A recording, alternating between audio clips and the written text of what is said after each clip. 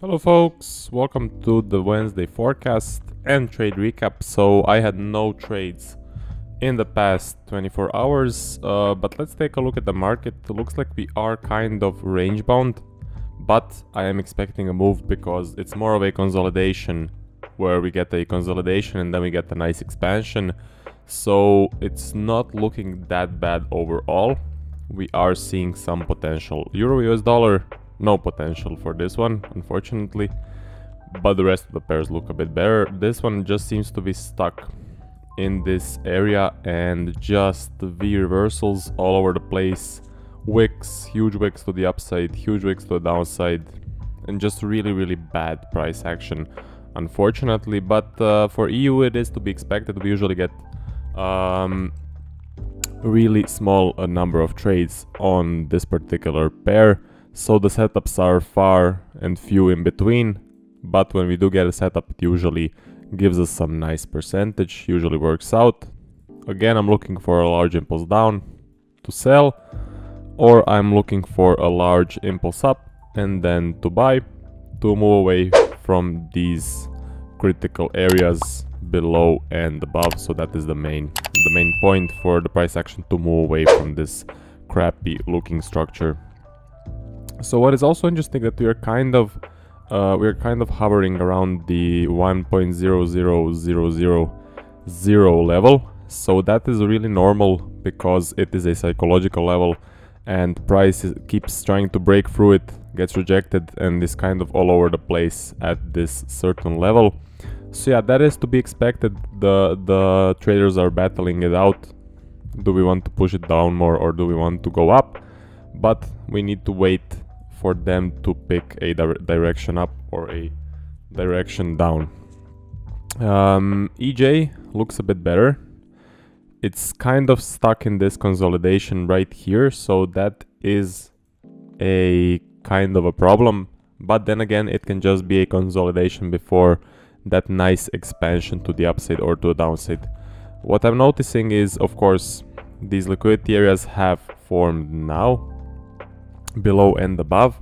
What we need to be careful of is how we reach these areas. Do we just break and retrace or do we actually break with some nice conviction to the upside, get a nice uptrend or some nice conviction to the downside and get that nice clean downtrend.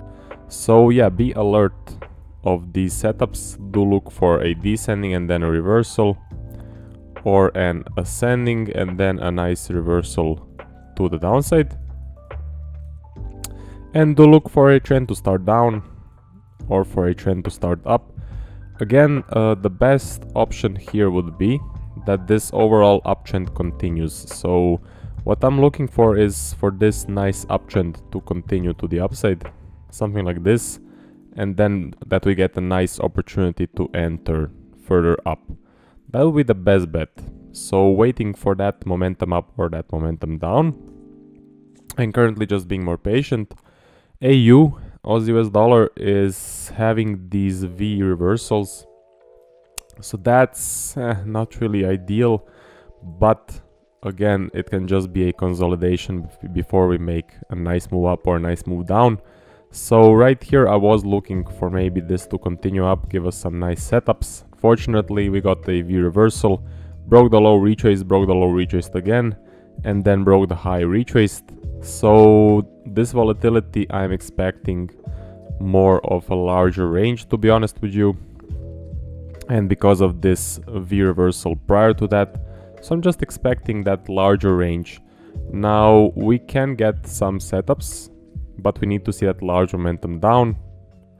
Like this of course this is a critical area to break. We need that nice conviction out of that range bound area so maybe a nice break and retest a nice flag whichever opportunity we do get.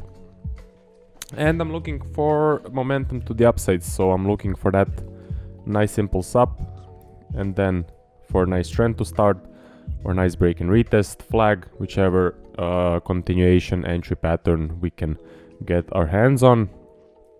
Um, so yeah, this is what this one is not looking the best.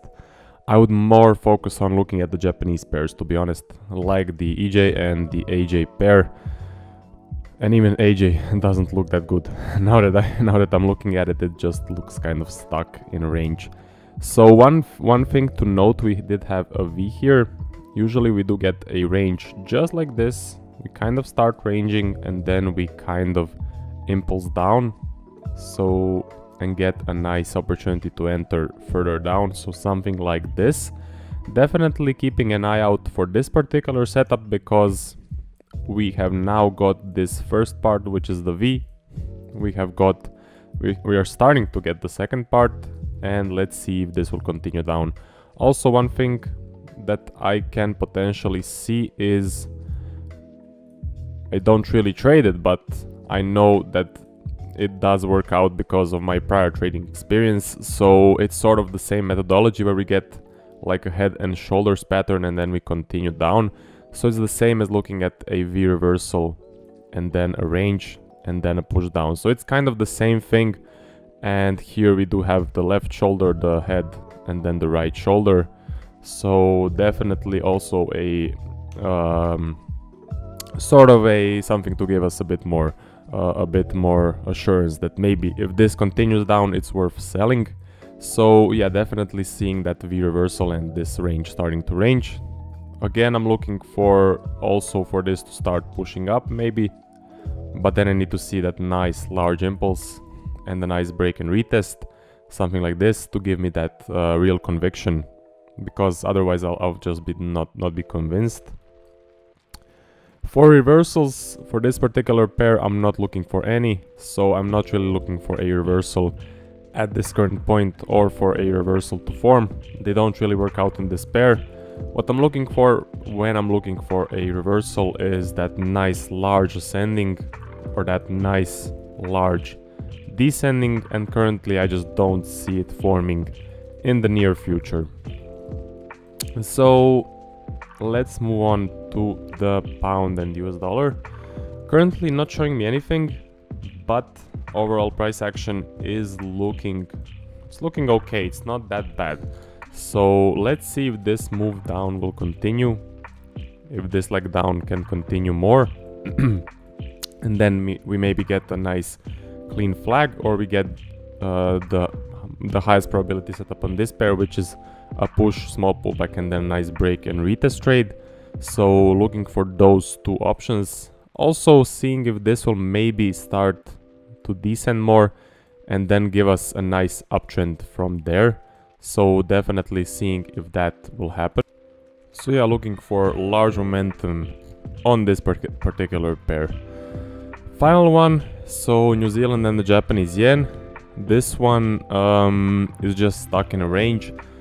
We did have a nice uptrend before, so right here. There was a nice uptrend, unfortunately it didn't end well. So it broke the high and retraced and then we got the V reversal and then we just started ranging around so no opportunity at this current point. What I'm looking for is just for price action to move away from the current structure. Now this again just may be some consolidation before we start moving. Uh, we did have this huge range prior which was a, a big big warning sign.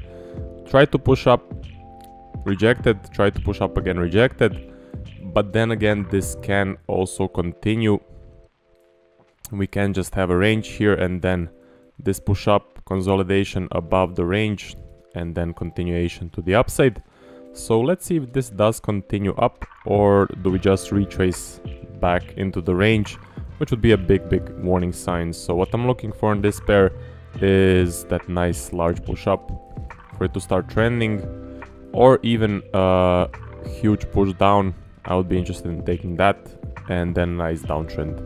That is it for the forecast. I'll see you guys tomorrow. Happy it is Wednesday.